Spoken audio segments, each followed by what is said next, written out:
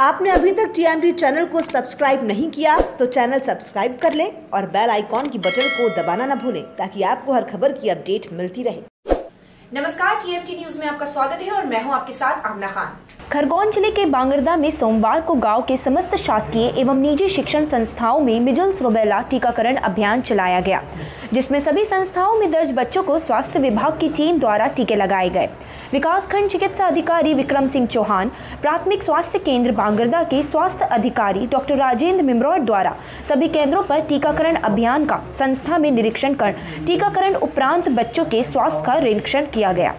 विकासखंड पस्त अधिकारी विक्रम चौहान ने बताया कि मिजल्स रुबेला टीकाकरण हेतु विकासखंड बड़वा को नौ सेक्टरों में विभाजित किया गया है, जिसमें तीन सेक्टरों में टीकाकरण कार्य पूर्ण कर लिया गया है एवं चौथे सेक्टर बांगरदा में कार्य प्रगति पर है।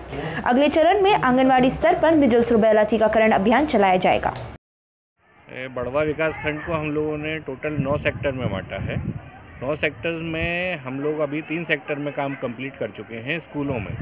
और आज ये चौथा सेक्टर है बांगरदा। आज यहाँ पे 40 स्कूलों में आ, हम लोगों ने टीम भेजी हुई है और जिसमें टीकाकरण करवाया जा रहा है। निश्चित है। एमआर का जो वैक्सीन लग रहा है ये शासन के नियमानुसार नौ माह से पंद्रह वर्ष के बच्चों को लगना है।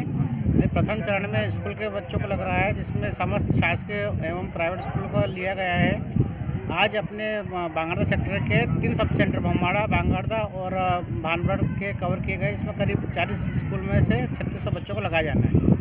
हम जो भी जानकारी है, कितने को लग चुके हैं और कितने एबसेंट रहे हैं, आज वो शाम तक आंकड़े मिल जाएँगे।